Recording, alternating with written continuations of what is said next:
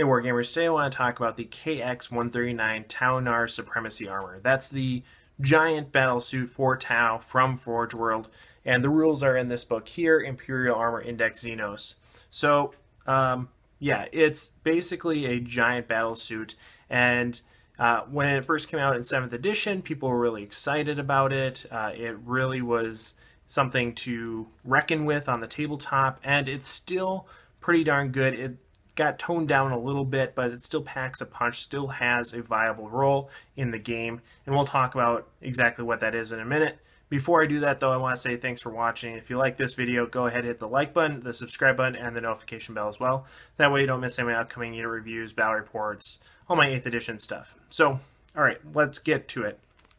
Like I said, the Supremacy armor is still pretty darn good. It's about uh, 1,200 points, or three Y'Vahra's worth, or two um, Sun Sharks, or not Sun Sharks, Tiger Sharks worth of points. So when we're talking about the utility of this, we want to really compare it to those other options since they fill similar roles on the battlefield. Y'Vahra's um, are going to be more of a well-rounded, smaller unit, and Tiger Sharks are going to be more for uh, Titan hunting, basically.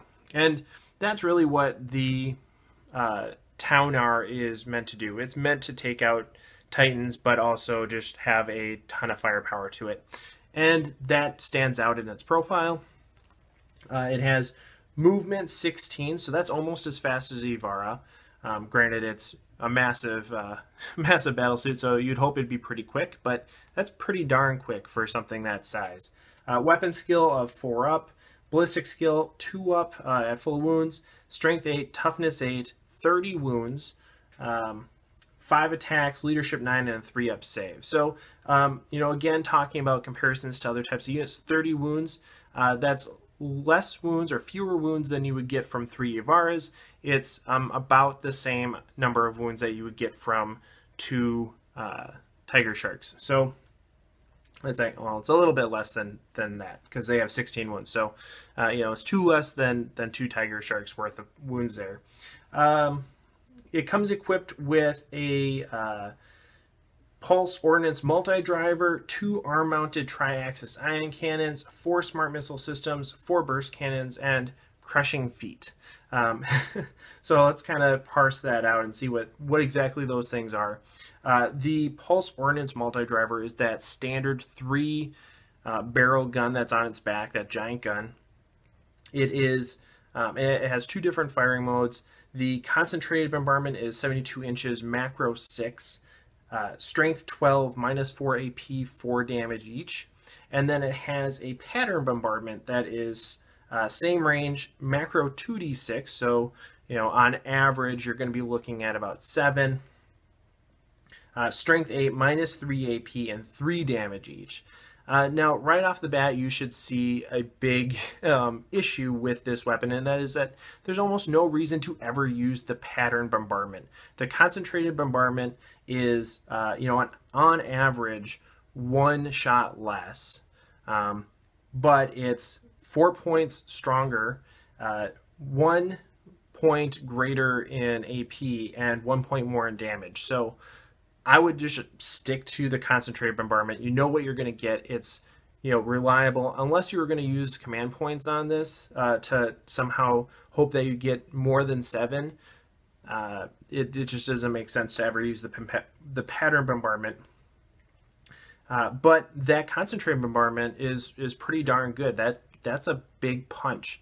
Uh, strength 12 minus 4. Uh, you're going to be wounding most vehicles uh, and some titans on uh, on twos. Uh, well, not twos actually. Most vehicles not on twos. Still on threes, but that's still a, a nice. Eh, that's that's a nice that's a nice strength, right? So still wounding on threes, but but it's strong.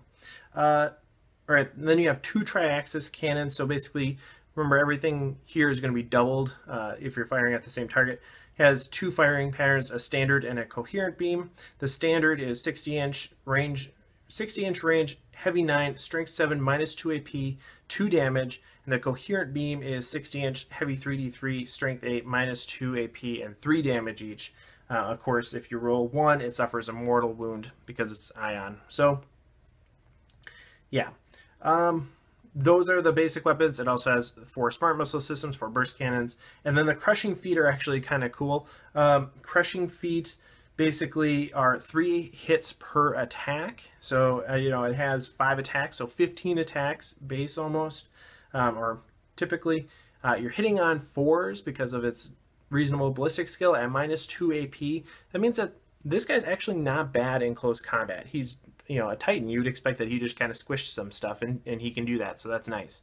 Um, he can actually take out like a unit of guardsmen pretty easily, I think, in close combat. So that's good. You can't say that about most Tau, so that's good. um, he has a few different special rules. One is the Vigilance Defense System. It basically allows you to use those those smaller weapons in Overwatch, and when you do, uh, you can reroll ones. So that's nice. Gives you a little bit of marker light independence for Overwatch.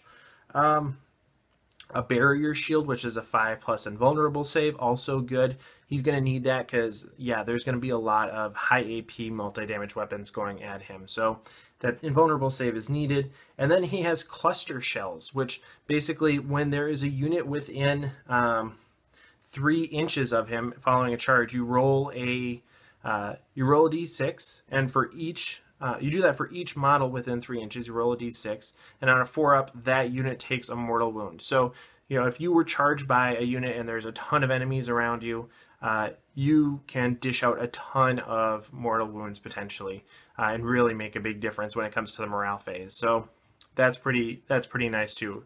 Uh, I like that a lot. um, and then it has the Towering Colossus special rule, which allows it to shoot non-macro weapons at units that are within one inch. So uh, it can shoot in close combat, basically, which is which is good.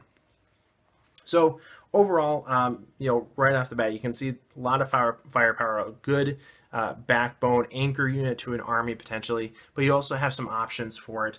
Um, for the main gun, there's really no reason to ever take anything other than the uh, tri-axis no, not the tracks. The Pulse Ordnance Multi-Driver. I get confused because there's three guns on the arms and three guns guns on the back.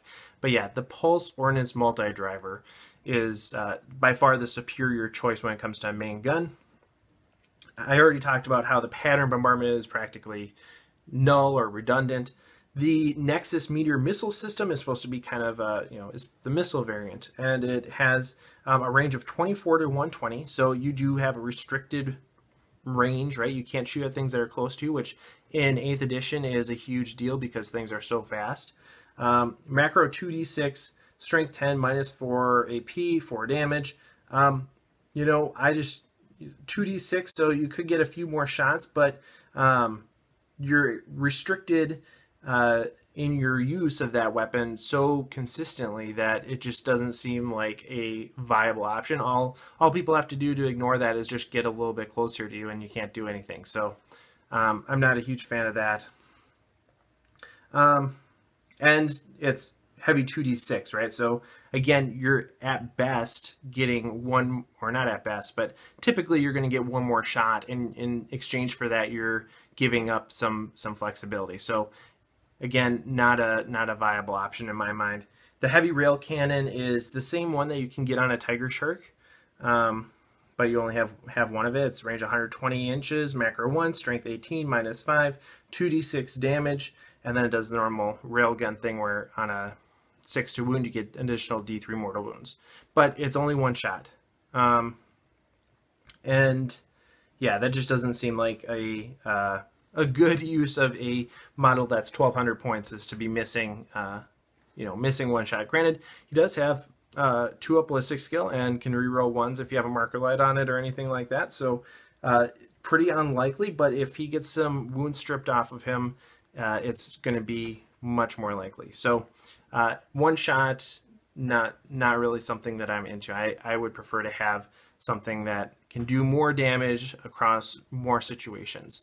So the heavy rail can doesn't seem to appeal to me very well, very much right now. Um, arms, you really both of them are viable options in terms of what they're going to do. I mean, the tri-axis ion cannon is is solid, but when we think about really what would make this guy competitive, I think the fusion cascades. Um, or the fusion eradicators are actually a better option. And the reason for that is because a Y'vahra is going to be a more efficient choice for taking out things that the Triaxis cannon is going to be taking out. But other Titans, things that the Tiger Shark are going to be uh, focusing on, uh, the Fusion Eradicator can actually make the Taunar a better choice in some ways compared to a Tiger Shark. So um, I think I would take the Fusion Eradicators uh, just for a little bit of a niche definition uh, for this guy. But both of them are going to put out a punch, and it's really not a wrong answer for the arm weapons, but the Fusion uh, Eradicators are going to give you a better punch against the things that you really are bringing the town Taunar to deal with anyway. So uh, I would probably go with that. Overall, I think the Taunar does still pack a punch. It's still a viable option, but uh, if you're going against a meta that is going to have more diverse opponents than just knights and super heavies, uh, are going to be a more reliable option for you. They're going to be better at taking out infantry, uh, heavy infantry, light vehicles, Y'vahras are going to be a good option for those. But if you are going into a meta where it's knights and super heavies left and right, uh, the Taunar can give you a good option. We do have to compare it to two Tiger Sharks, though. I mean, two Tiger Sharks are going to do a lot of damage. That's four heavy rail cannons, and um, it's hard to ignore that fire output. Plus, they allow your army to be a little bit more um, compartmentalized. So you don't have to invest 1,200 points in a single model. You can have 600 points in uh, one Tiger Shark and then 600 points in another Tiger Shark, and that gives you some flexibility that is not allowed with a single model. So um, for that reason, I, I think the Taunar is a situational optimal choice, but uh, overall a, a, fine component of army. I think really in, in like 2K lists, it's going to be too many points, but uh, at larger games, it's more viable. For a 2K list, I think I'd rather just take a Tiger Shark and then fill out the ranks with, with other things that are more uh, specialized or more geared towards taking out more diverse opponents. So that's what I think. Uh, let me know what you think in the comments below. If you're using Taunar and you're just uh, you know, melting faces with it, that's good to know. So thanks for watching, and of course, happy wargaming.